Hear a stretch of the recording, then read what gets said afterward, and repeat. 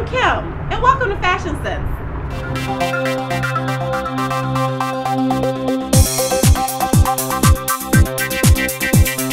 One of the coolest trends this season is gloves. They not only accessorize, but they also keep you warm. So here are three tips to make sure your gloves do double duty. One, make sure they're long enough. You don't want a gap between your coat and your glove. Two, choose the right style for your weather.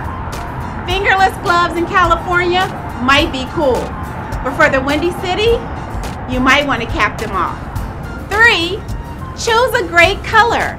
Black and brown leather, they're no longer the standard. Now that you've got those handy tips, make sure you leave a comment on the blog, a message on Facebook, or tweet. Makes sense.